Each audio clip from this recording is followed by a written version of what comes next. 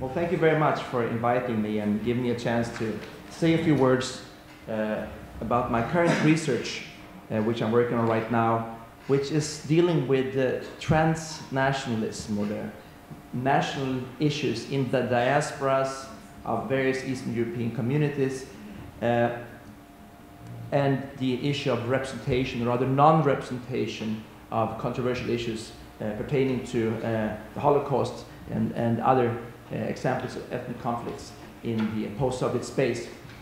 I should say right away that my background is that of an historian of Ukraine and Belarus, and I've been working uh, for the past 10 years on the Kresy Wschodnie, the, the eastern borderlands.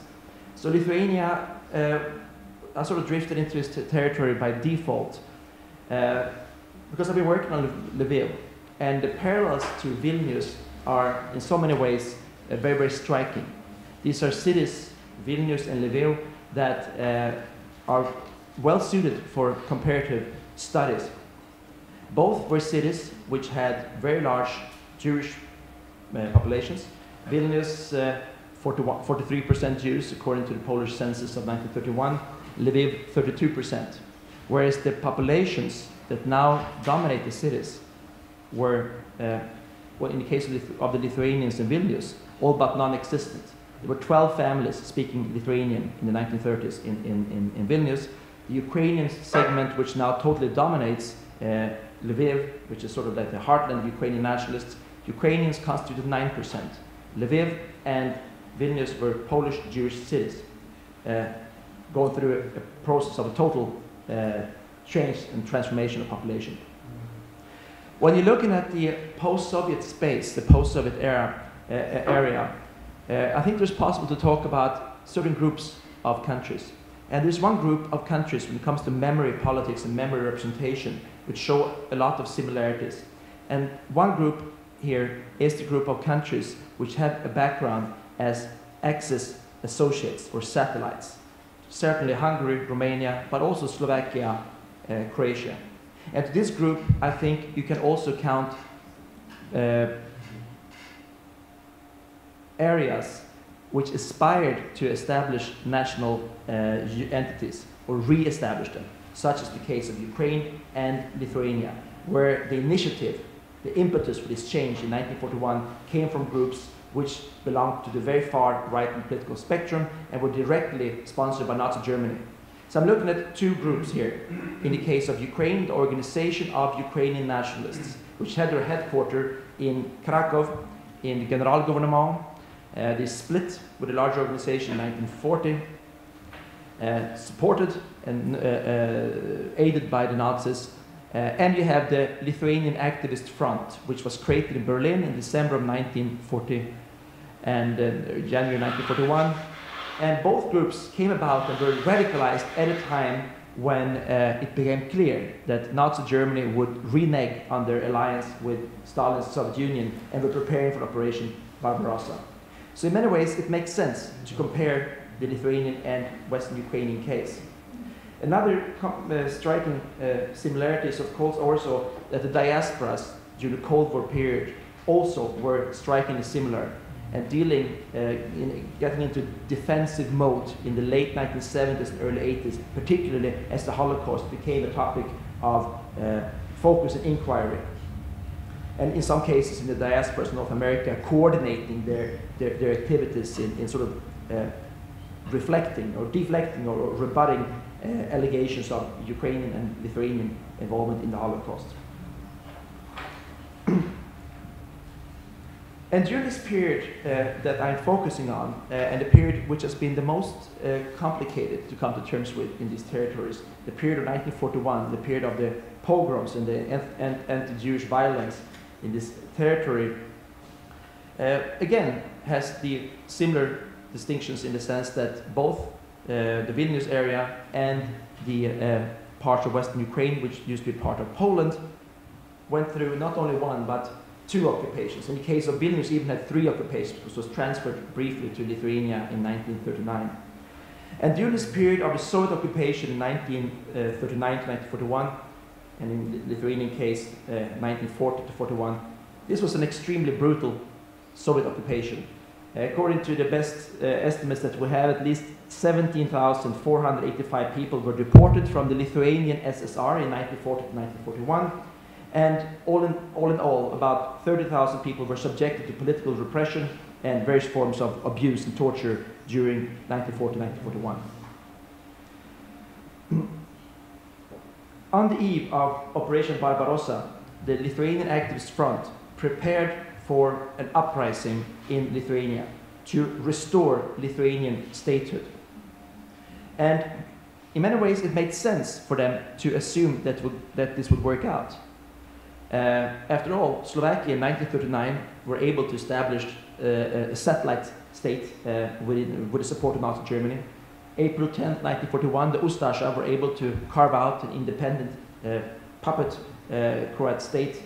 So, of course, on the 23rd of June 1941, as the Wehrmacht were marching in towards Vilnius and Kaunas, the uh, Lithuanian Activist Front took up arms to establish a Ukrainian, uh, sorry, a Lithuanian state. At the eve of this, uh, what's now known in Lithuania as the Lithuanian National Uprising, they printed leaflets uh, with, uh, with uh, uh, statements such as, the fateful hour of final reckoning with the Jews has come. Lithuania must be liberated not only from the Asiatic Bolshevik slavery, but also from the age old yoke of Jewry. The ancient right of, of refuge in Lithuania, granted to the Jews during the times of Vytautas the Great, is completely and finally revoked. Every Lithuanian Jew, without exception, is hereby sternly warned to abandon the land of Lithuania without delay. The Jews are to be expelled completely and for all time. The government that it restored, established in 1941, again here you have a parallel to, to the Ukrainian case. The leader of the Lithuanian Activist Front, Kazys Škirpa, was still in, in, in Berlin, and his deputy, Juozas Ambra, uh, uh, who after the war took, this, took the name Brazaitis, became the acting prime minister of Lithuania, of the so-called provisional Lithuanian government. And uh, it only existed for about uh, five weeks, but during this, this short existence, it established that Jews, and here's a direct quote from, from, from, the, from the meeting of the Lithuanian government, uh, Jews are to be settled in separate localities selected for this purpose, and on the left side of the chest were a yellow 8 centimeter circle with the letter J in the middle, end quote. And the accompanying uh, the, the Lithuanian national uprising was accompanied by a wave of anti-Jewish violence. Uh, an estimated 20,000 Jewish victims uh, were, were, killed uh, between the German uh, uh, attack and the establishment of a civilian administration in August 1941. And in many cases, these Jews were killed before the German troops arrived. You have a similar situation in uh, western Ukraine. Here, exactly one week later, on the 30th of June 1941, again, Bandera's deputy, Yaroslav Stetsko, Bandera was still in Krakow, but Stetsko declared the Ukrainian state restored on the 30th of June 1941. Stetsko himself um, um, was the acting prime minister and, and kept referring himself to the acting prime as, as prime minister of Ukraine for the rest of his life.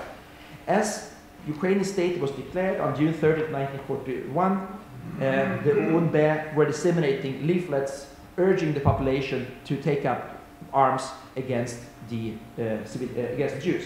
Народи, знай Москва, Маджари, Жидова, це все твої вороги, нищі.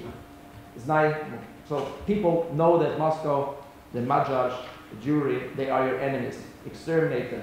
Know that your leaders are the leadership of Ukrainian nationalists. Your leader is the Bandera, and we are seeking to establish a united Ukrainian state. Slava Ukraini, Heroyam Slava, which was the, the own slogan. And these leaflets were distributed, distributed uh, across not only Lviv, but in many areas around western Ukraine. And similarly to in Lithuania at this point, between 35 and 140 pogroms depending how you count, whether you count a number of violent acts as one or as, as, as, as, separate incidents. 35 to 140 pogroms broke out, and the victims tallied between 13,000 and 35,000 Jews in western Ukraine, also in some cases before the German troops arrived. Uh, of course, the Germans, the Nazis, were not interested in treating the Lithuanians or Ukrainians as allies. Uh, there was not a lack of love from the, from the side of the OUN and the LAF, but Adolf Hitler and uh, his, the group around him were not interested in treating Ukrainians as satellites, but really, really as areas of colonization and settlement and exploitation. Uh, how the Germans prevailed in the war, prevailed in the war, uh, it's likely uh, to happen that there would have been some form of policy to exterminate also Ukrainians and Lithuanians. Uh, in the Generalplan Ost, they uh, saw no future for Ukrainians and Lithuanians. The SS uh, uh, had plans to Germanize this territory, and they, they concluded that only about 20% of the Lithuanians are of sufficiently high racial quality to be Germanized. Uh, and there were plans to essentially uh, recreate uh, all Indo-European forests in Lithuania and populate them with the animals uh, Uh, which have since been uh, extinct, like the aurochs and so on. So the Lithuanians would not have fared really well under a German victory, and neither would the Lithuanians. But of course, I mean, this is not the place to go through the details of the Holocaust in Lithuania and, and, and, and Ukraine. But so I, I jump a little bit forward here. And in 1944, with the return of the Red Army to Western Ukrainians and to the Lithuanians. This was not, of course, seen as a genuine liberation. Uh, in the period between 1944 and 1952, 118,000 Lithuanians were deported into the interior of Siberia, and 203,000 Western Ukrainians uh, were also deported into Siberia. Uh, but many of the leading figures in the both of the LAF and the, of the OUN, they ended up as displaced persons in Germany and later on immigrated to the United States and Canada. And here they came to play an important role uh, in the Cold War. After 1948, nobody, or should say nobody, but few people actually took a detailed interest in the Holocaust and in uh, the, the, the, the, uh, legacy of, the murder of the Jews. The fight against communists became, of course, overreaching concern. Uh, and many of these people, including uh, Ambrazevichus, uh, were recruited uh, by the uh, OSS, later on, that later on was renamed the CIA. So uh, Juozas Ambrazevichus became, he was hired by the CIA. he was brought to the United States in 1949, and the same thing happened with many of the leading OUN members. Uh, I was trying to find a good illustration for this. This is a Christmas card sent by Ambrazevichus to the CIA, wishing them a happy Christmas, 1956.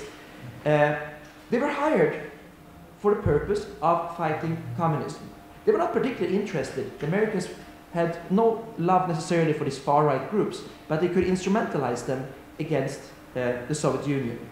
Uh, and it was clear uh, in the CIA assessments that nationalism remained a significant power to be reckoned with in Western Ukraine and in the Baltic states. And these people, the leading nationalists, often had a detailed knowledge of the immigrant communities, of the microgeography, and as long as there was an uprising going on, uh, a rebellion, they could be used to, to uh, as liaisons with the Lithuanian and the Ukrainian uh, uh, soldiers, uh, the soldiers fighting the Soviets. Ambrazevichus Brazaitis was more successful than the leaders of the OUN. Uh, Yaroslav Stetsko, uh, uh, his group, they came to become the backbone of the so-called anti-Bolshevik bloc of nations. They took a much more radical position than the Americans. They were interested in organizing a multinationalist rebellion in the Soviet Union. They coordinated the Ustasha uh, emigrant groups, uh, former members of the Tiso government, Romanian Iron Guardists, Hungarian Cross Arrows, and the idea was to organize a synchronized multinationalist uprising in the Soviet Union, take control over nuclear weapons in Ukraine, and re-aim them against Moscow. Uh, and they did not shy away from a nuclear confrontation. This was something the Americans couldn't accept, It was one thing the Americans in the 1950s feared more than communism, was the possibility of the Soviet Union being dissolved into a galaxy of potentially failed states, possibly with nuclear weapons. So the Americans washed their hands of the, the OUN and supported the third-hand man in, in, in the OUN. They had a brief renaissance in the early 1980s. Here you have uh, uh, Yaroslav Stetsko, who did work for the CIA in the 50s, but then they, they broke the relations with them And the main sponsors of the OUN in, in exile were the, uh, the government of Nationalist China, Chiang Kai-shek, and Francisco Franco's Spain. Uh, they also got funding from uh, uh, South Korea, Syngman Rhee. But other Reagan, were partly brought back into, into uh, the warmth of, of, of, of the uh, Western community. Uh, well, why is this important? Well, this is important because these narratives that came to be exported to post-Soviet Lithuania, post-Soviet Western Ukraine were at this point developed. The Lithuanians were actually pioneers in using the term genocide instrumentally. The term was, of course, coined by, by Lemkin uh, right after World War II, but as early as in 1948, the Lithuanian emigrant community started using the term genocide to describe communism or describe Soviet rule in Lithuania. And mind you, this was a very, very brutal, of course, uh, regime under Stalin in particular. But already in 1948, Ambrazevichus himself wrote a book, translated into English, A Small Nation is Being Wiped Out, and Lithuania, an appeal to the United Nations on genocide, 1951. Here's the, the, the, prime minister who argued for the internment of Jews into the concentration camps in 1941, 10 years later evoking the, the genocide argument to present communism as a genocidal ideology. And the Ukrainian community started to internalize this narrative by 1951, 50, 52, 53. For the 20th anniversary of the famine in Ukraine, the term genocide was, was then in use. Uh, and this narrative was developed and became very strong in these communities, uh, particularly after uh, 1978, when the miniseries The Holocaust ran on North American TV. And then with the Demjanjuk saga, uh, uh, John Demjanjuk being arrested and sent to Israel and being sentenced and later released, this was a sort of galvanizing moment that brought together Lithuanian and Ukrainian immigrant communities and often coordinate their activities to sort of deflect the idea of Ukrainian and Lithuanian involvement in the Holocaust. Soon thereafter, less than five years thereafter, Lithuania was actually leading the march towards independence in the Soviet Union.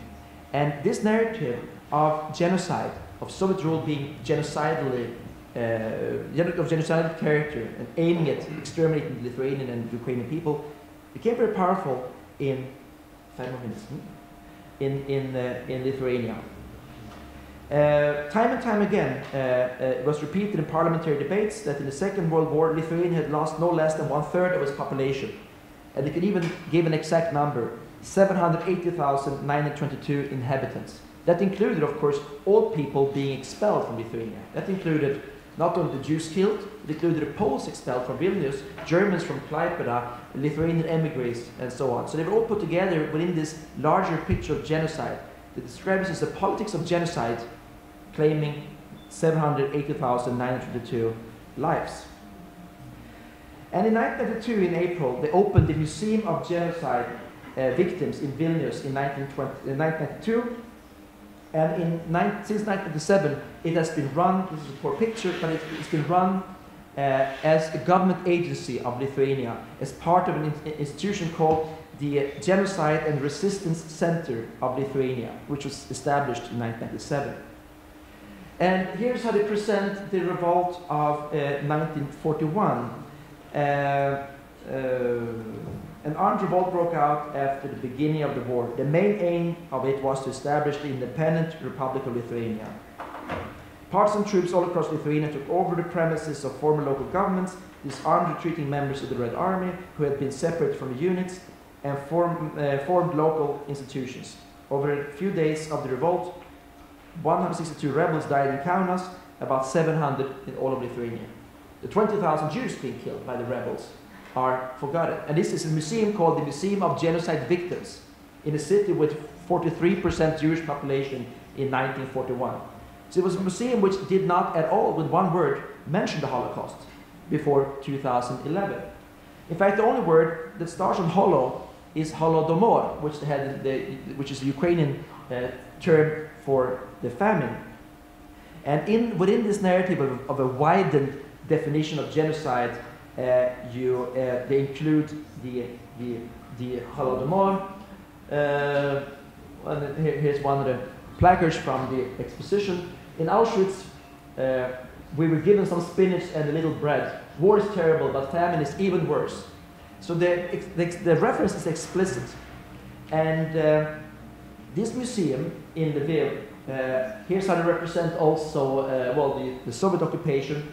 After 2011, when they actually opened a, a, tiny exhibit about the Holocaust, they add little, a little plaque down here for you, because the major, of course, is of course, but Soviet oppression. But then they attach a little plaque to visitors willing to get acquainted with the period of Nazi occupation in Lithuania and the Holocaust more extensively, because there wasn't anything else, of course, uh, for 2011. We suggest visiting the Vilna Gaon Jewish State Museum, which is located in a little wooden building 500 meters behind this gigantic uh, museum of genocide victims. Uh, but there's now, of course, there is now an exhibit, and as Eglė Rindzevičiūtė argued yesterday, there, she's arguing that there is a movement in the right direction. And I guess this is a step in that direction. But it's still a museum gen of genocide which leaves little space for the Holocaust. So this was a step forward. But we also have steps, depends on your perspective, uh, steps backward. In 2012, Ambrazevichus was, was reburied in Lithuania. He was flown back, his, his, his body from New Jersey, and was buried on the full state honors uh, with the presence of uh, the former presidents Landsbergis and uh, Adamkus, uh, and the clergy and leading members of, of course, the Institute for Genocide Studies being present at his funeral. Uh, the Vytautas Magnus University in Kaunas, where he lived, had an auditorium renamed after him. The partners in Ukraine uh, is the, uh, uh the museum at Lonsky Street in Lviv. In 2005, Viktor Yushchenko was elected president of Ukraine. He started a policy very similar to that which has been carried out in Lithuania, a, policy of instrumentalization of the past, very heavily focusing. One step, one leg of this narrative was the, that the famine was a genocide, a deliberate genocide of the Ukrainian nation, and even came up with an exact number of genocide victims. The exact number was 10,068,000 people. That included 6,123,000 Ukrainians that were never born, that would have been born had it not been for the genocidal famine which aimed to exterminate the Ukrainian nation. But that was official, that was official narrative by the Ukrainian Institute of National Memory. Stepan Bandera came to fill the role partly of Ambrazevichus in Lithuania. And Viktor Yushchenko here, uh, shortly before he left office, elevated Stepan Bandera uh, to an official hero of Ukraine. And in 2005, a museum in Lviv was opened, modeled on the Lithuanian Museum of Genocide Victims. And its curator and director, Ruslan Zabily, explicitly describes the museum as a twin museum to that of uh, Vilnius.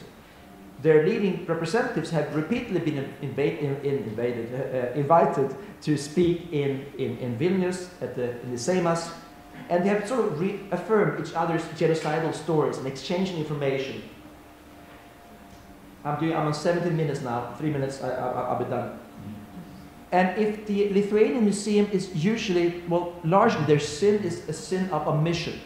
The museum of genocide in the heartland of Ashkenazi culture, in the Jerusalem of Eastern Europe. A museum of genocide not touching upon the Holocaust. Well, that is, many people found this problematic enough, as, as Egle yesterday uh, uh, uh, said. The Ukrainian museum is more problematic in that sense that it was run by the organization of Ukrainian nationalists in Canada, which sponsored it. It was run as a front organization of the Organization of Ukrainian Nationalists and also supported by Yushchenko's Institute of National Memory and had an overlapping role. And they're also affiliated with the Ivan Franko National University in Lviv. June 30th, 1941. Uh, this is a very famous picture of a woman absolutely devastated and grief stricken at the day the Wehrmacht marched into uh, uh, Lviv. This is at the Lonsky prison, where they have now organized a museum of Ukrainian genocide victims. What you see here is like what the, the NKVD did before they retreated in, in panic on June 28th, 29th, was they shot, they murdered several thousand inmates that they had in the prisons. They did not have enough uh, railroad cars to evacuate the prisons, so they murdered them. They went cell by cell and shot them with machine guns, thrown in hand grenades, And a carnage, massive bloodbath took place on the 28th. Two days later, the, Red, uh, the Wehrmacht marches in together with Ukrainian battalion Nachtigall, which was by, led by the OUNB, commanded by Roman Shukhevych, who later on came to lead the UPA. What they do is they, when they get to the uh, Lonsky prison, they bring out these bodies for identification and burial. But the people that brought them out were not the Ukrainians themselves. You see those people in the background sitting along the wall. These were Jews gathered from the street of Lviv. You can see they have come from different social classes. Some are dressed up very elegantly, others were simply workers. So here they're sitting along the wall, being guarded by Ukrainian nationalists. They were forced to rebury the, the, the, the victims, uh, uh, which were mostly Polish, but many of them, 9% were Jews. Some were Ukrainian. And after the, the reburial of the victims, uh, the message that this was the work of the Jude Kommuna, the Jewish communists, the pogrom broke out and was used as a pretext for the pogrom, which claimed between 700 and 6,000 victims in, in Lviv, depending on how I count, uh, Ukrainian victims, German victims, and so on. How is this represented in the museum of, of, of uh, the uh, uh, Lonsky prison? Well, in the Ukrainian case, is actually photoshopped out. Here you have the, you're zooming in literally on what is assumed, and any visitor would assume would be Ukrainian, a grieving Ukrainian woman looking at Ukrainian corpses. And the Jews in the background are literally photoshopped out, covered with statistics. And of course, the, the, the impression you get is that these are Ukrainians. 1,681 victims at Vyaznista Pershi. Uh, uh, and the image was also appropriated by the Lvivska Mestska Rada, the Lviv uh, uh, City Council, which for uh, May 9th, the Dien Peremohe or Dien Pobedy, the Victory Day, uh, which is a big celebration in, in, in, in, in Russia and Belarus, and also in eastern Ukraine, they printed uh, big posters covered Lviv with this, saying communism equates Nazism. And here you have again the Jews being cut out, and you have Ukrainian nationalists uh, being killed by the Nazis. And in the prison, uh, you have this, at the same time, 2012, the centennial of Stetsko's birth. Stetsko, who in 1941 expressed his support for German methods of exterminating Jewry and the expedience of bringing these methods to Ukraine, is being honored in the museum dedicated to genocide also in, in, in Lviv. So, in conclusion, very quickly, I'm on 21 minutes. Uh, I will do my conclusions in 30 seconds. Uh, as the historian Andrei Portnov has argued, the historical narratives of self-victimization, so predominant in Eastern and Central European nationalist discourses, they are aimed primarily and mainly for domestic consumption. At the same time, they're interested in the sense that they are transnational phenomena. They are, to significant degree, ambiguous constructs, migrating back and forth across the Atlantic, and then within the post-communist setting, finding a resonance within several post-communist societies, particularly those which have a problematic attitude or, or, difficult dealing with the Holocaust. There's no coincidence that the three museums which are most, most closely resemble each other, the Terror House in Budapest, the Museum of Genocide Victims in, in, in, in Vilnius, and the Lonsky Street prison on Stepan Bandera Street number one in Lviv, resemble each other. They are sort of a form of transnational history uh, which despite their aim for domestic consumption really are transnational. And this is what I'm working on right now in my, in my, in my uh, research. The whole idea of equating communism and Nazism, red equates brown, and then externalizing the whole problem of communism and Nazism and, and attribute them to an ethnic other very often. Uh, the idea that Ukrainians and Lithuanians were strictly victims, with very little focus on Ukrainian collaboration with the Communist Party. That there actually, that Brezhnev was Ukrainian, Pagodin was Ukrainian, there were actually quite a few Ukrainians in the Communist Party, there were also in the Communist Party. So that is part of my, of my, my, my work. And of course, ultimately, when everything becomes genocide, as Anton Weiss-Wendt aptly noted, when everything is genocide, uh, nothing is genocide. Thank you. Thank you very much